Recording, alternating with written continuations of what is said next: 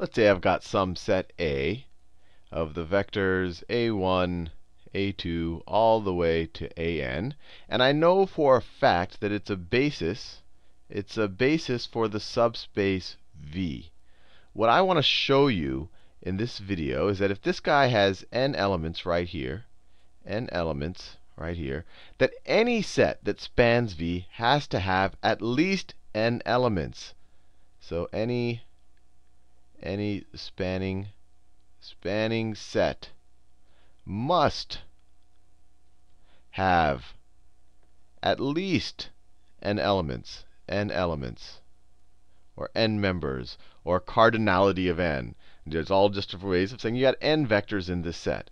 So let's see if we could, if we could, if we have, if I'm saying that every set that spans V must have at least n elements. If this some basis set has n elements for V, what I let's let's see if if we can kind of run with a set that has less than n elements and see if we reach any contradictions. So let's say that I have some set B here, and it's equal to the vectors b1, b2, all the way to bm. And m is less than n, so I have some set of vectors here that have fewer elements than my set A. And let's say that B spans that you come to me one day and you say, look, I got I, I found you this set of vectors right here. And not only does it have fewer elements than A, but it spans V. It spans V. And I look at you very suspiciously because I always thought that this green statement was true. So we start a little bit of a thought experiment. And I say, OK, you, you claim that your set spans V, so let's do something. Let me define a new set. Let me call this new set B1 prime. And you'll see why I'm doing this kind of strange notation. What, what I, what's essentially going to be is the set B plus my vector A1. So it's a1, and then I have all of my elements of b. So b1, b2, all the way to bm. Now, I think you and I could both agree that this set is linearly dependent. Linearly dependent. How do I know that? Linear dependence means that at least one of the elements of the set can be represented as a linear combination of the others. Well, we know that a1, I mean, it's, it's one of the basis vectors for v, is in, for this definition of a basis. But all of the basics vec basis vectors are members, are members of v, right? You can obviously represent you can obviously the the the if this if this set is a basis for v, then this means that this set spans v, or that every member of v can be represented as a linear combination of these guys. Or another way is every linear combination of these guys is in v. And one of the linear combinations of these guys is you just set you know the coefficient on a1 to be 0 and everyone else uh, the coefficient on a1 to be 1 and the coefficients on everyone else to be 0. So obviously a1 is also in the set. So if a1 is in v, and all of these guys span V, by definition, if these guys span V, some linear combination of these guys can be used to construct any member of V. So you can take some linear combination of these guys to construct A1. So you could say A1 is equal to maybe D1, where the D's are the constants, D1, B1 plus D2, B2, all the way to dm, bm. And at least one of these have to be non-zero. We know that a is a non-zero vector. If it was a zero vector, this couldn't be a basis because it wouldn't be linearly independent because you can always represent a zero vector as a as a as really just zero times any other vector. So this won't be a zero vector. So at least one of these are non-zero. So let's just say, for the sake of argument, that dj, so the coefficient on bj, is non-zero. So dj does not equal 0. So what we could actually do is we could solve for that term. You know, so over here someplace you have the term dj bj, and it's plus a bunch of other stuff. We can solve for this term. If we subtract it from both sides of the equation and then divide both sides by minus dj and put this minus a1 on the other side, what do we get?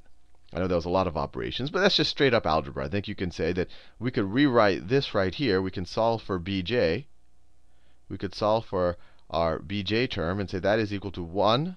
Sorry, that should be equal to minus 1 over its coefficient times, and if we subtract the a1 from both sides, minus a1, and then plus all of these guys, plus d1, b1, plus all the way. You're gonna you're gonna have a little bit of a gap here. I'll just draw it like that. It's very unconventional notation where this guy sat all the way to dm bm. And I'm doing all of this just to show you that uh, by definition, you can write A1 as a linear combination of these other guys, but you can just rearrange things. You can rearrange it so that you can write you can write one of the other guys as a linear combination of the rest of the other guys and A1. And you say, you know what? this guy is now redundant. I don't need I don't need this guy any longer to continue to span V. Clearly, this set still span V. I mean, I added extra in for an extra vector here. But I can remove this guy right here. I can remove him from my set B1 prime and still span V. And how do I know that? Because I can achieve him by removing him, I don't lose anything. Because if I needed this vector to create some other vector, I can construct him with a linear combination of the rest of the b's plus my AI, or my A1. So let's get rid of him. And let's call that set B1. And actually, just for the sake of notation, let me just change his name.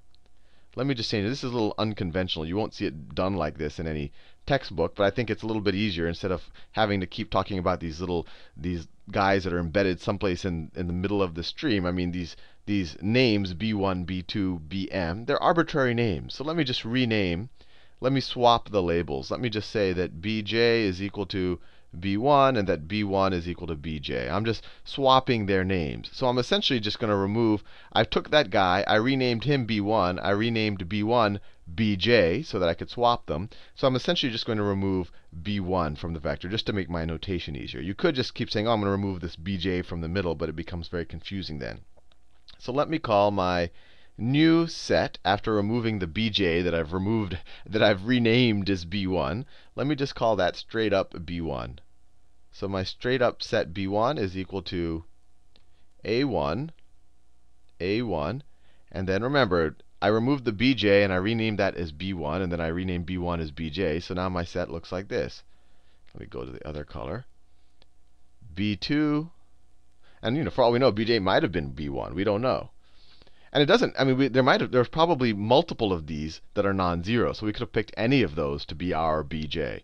But anyway, we were, so we removed, we re, took our bj, renamed it b1, and removed the b1. And so now our set looks like this, b3 all the way to bm. And this will still span, this set still spans, spans v. And we know that because the guy we removed can be constructed with any linear combination of these guys. So we haven't lost our ability to construct all of the vectors in V. Now let me create another vector. Let me create the vector b. Let me do a new color. Let's say I have the vector b2 prime. And what I'm going to do here is now I'm going to take another element from our spanning, from our basis of v. I'll take the second element. I'll take a2.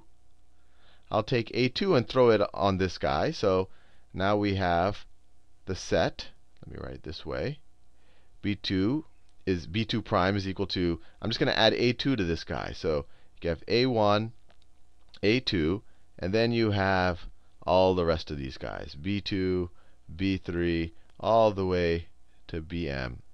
And of course, this still spans v. I just added something here. But this is definitely linearly dependent. Remember, I didn't say in the beginning whether this was linear dependent or not. I just, it may or may not be. But when you add this other vector that's in v, you definitely know that you're linear dependent, because these guys can construct that guy.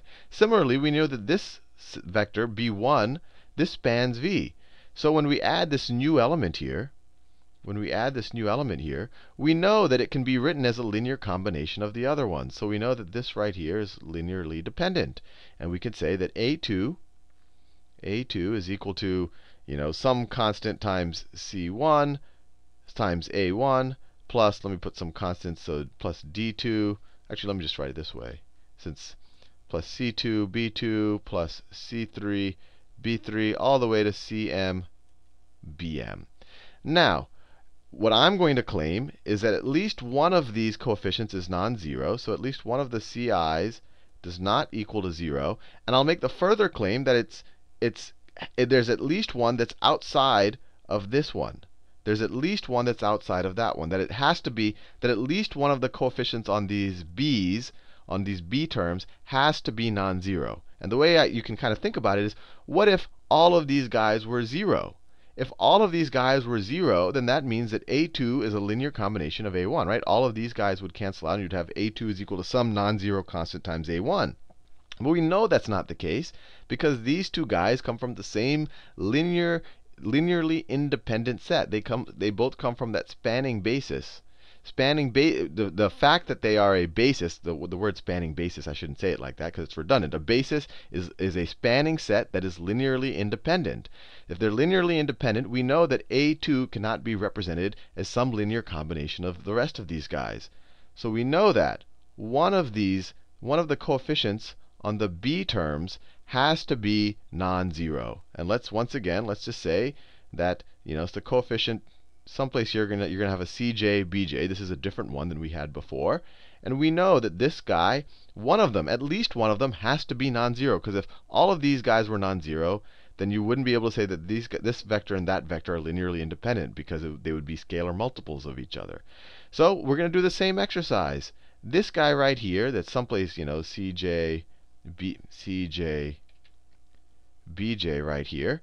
Obviously, this coefficient is non-zero, so we can solve for our bj. Once again, we can say that bj is equal to minus 1 over cj times, now it's minus a2 plus c1, a1, all the way to cm, bm. So we have some bj here that is can be represented as a linear combination of the rest of the people, including our new a2. And so, just like we did before, let's remove him. Let's take him out of the set. And before I take him out of the set, I'm going to rename him just for the just for solely for the purpose of notational simplicity. I'm just going to rename our bj b2, and our b2 is equal to bj. So I'm just rearranging the names. And I'm going to remove our b2. Or I'm going to remove what, what I now call our b2. It was that it was it was whatever was out here that could be represented as a linear combination of everything else, including our new a2. So let me call that set. When I remove that, that one of those terms right here, and now I renamed it b2, I call this set b2, and now it's equal to a1, a2, and now I have the, the leftovers of my b's. So I have b3, b4, all the way to bm. I still notice I still have exactly m elements. And this still spans, so this spans V. It spans V because the element that I took out of it can be represented as a linear combination of these guys. So if I ever want to construct anything that needed that, I can construct that vector with some combination of these guys. So it wasn't necessary. So it still spans V. So this process I'm doing, I can just keep repeating it. I can add an A3. I can define I can define B3 prime as I can just add a3 to this to this set right here, a2, a3, and then I have my b3, b4, all the way to bm. And I'll say, oh, this is linearly independent. This is linearly dependent because this guy spans v. So everything but this guy spans v. So obviously, you can construct this guy with a linear combination of the rest of them. So you could say a3 is equal to some a1 plus some a2 plus c3, b3, all the way to cm, bm. And we know that at least one of the coefficients on the b terms, on the b terms, has to be non-zero. Because if all of those were 0, then you would be saying that a3 could be a linear combination of the a terms. And we know that a3 can't be uh, uh, represented as a linear combination of the a terms because it, these, all these a terms come from a linearly independent set. So you do the same operation. You find you can solve, you know, let's say that cj, you know, some term right here, the cj is non-zero, then you can solve for that bj. And then you, I do that little renaming little thing I do where I rename the bj b3 and rename b3 bj, and then I remove b3. And I get the set, and I get the set b3 is equal to a1, a2, a3 and then I have b4 all the way to bm. And this still spans this still spans v. And I keep doing it. So what's going to happen eventually? What's going to happen if I keep doing this process over and over and over again? Eventually, I'll, I'll, I'll essentially replace all of the bm's, right? Or I'll replace all of the n terms, right? So eventually, I'll have a set that looks like this. I'll have a set that looks Bm, well, I will have replaced each of these guys with an A. Where I would have replaced each of these guys with an A. So I'll have A1, A2, A3, all the way to AM. You can always do this by definition if you started with that initial set B that is a spanning set. And once you do this process, you'll get the same result that this also spans V. Now, let me, let me write this. This is the result we got by starting off with a spanning set B by starting with a spanning set B that has m elements where we said that m is less than n. Right? So we always have enough A elements to do this because we have more A elements than there were B elements to begin with. And we get result that this spans V. But we already said, we already said that the set A, the set A, which is equal to A1, A2, all the way to AM, and then AM plus you know, 1, I don't know how, you know, and then we have, I don't know how many more terms there are between m and n, but then you go all the way to an. Remember, we said that n is greater than m. Or when we define b, we said that m is less than n. Same thing, that this was a smaller set. Now, we're saying that this spans v, but at the same time, we said that this was a basis, right? This was just our, this is just our starting fact, that this is a basis for v. Basis for v. Basis means two things. It means it spans v, and it means it's linearly independent. Now, we just got this result by assuming that we had some set B that's smaller than this set here that spans V. We were able to construct this by saying that A1 through AM also spans V. So this, the result we got is that this spans V. But if this, if this subset of A spans V, then A becomes linearly independent because if this sub if this subset spans V, we can that means that an can be represented as some linear combination of these guys, which would imply, so that implies that you're linearly dependent, which is a contradiction with our original statement that, it, that set A is a basis for V, because that means that it's linearly independent. If you're able to do this, then this means that this is, if there is some smaller spanning set, you get the result that A has to be linearly dependent, even though we said it was linearly independent. So, we now know. We get our contradiction. We say that there cannot be. There cannot be. So this leads us to there cannot be. Let me. There cannot be a set. A let me write this. A spanning spanning set B that has has fewer elements, has fewer elements than A. And this is a pretty neat outcome, because now if anyone tells you that, you know, if, if I come up to you and I say, hey, I found some set X, so set X spans the subspace, subspace, I don't know, let's just call that V again, then you know that, you know, an X has, X has five elements you now know that no set that spans the subspace V can have fewer than 5 elements. Even better, if I told you that x is a basis, x is a basis for V, and I told you that and it has 5 elements, and y is a basis for V, y is another basis. Um, my handwriting's degrading. y is, let me write it a little ni nicer. y is also a basis, also a basis for v, you know that y also has to have exactly 5 elements. y has 5 elements. How do I know that? How do I know that? Well, if y is a basis, then it has to have, then that means that it spans v. And we know it can't have anything less than 5 elements. We just proved that. So, you know, one way we know that y has to have greater than or equal to 5 elements. But on the other hand, we know if y is a basis, we know that if y is a basis for v, and x is a basis, x also spans v.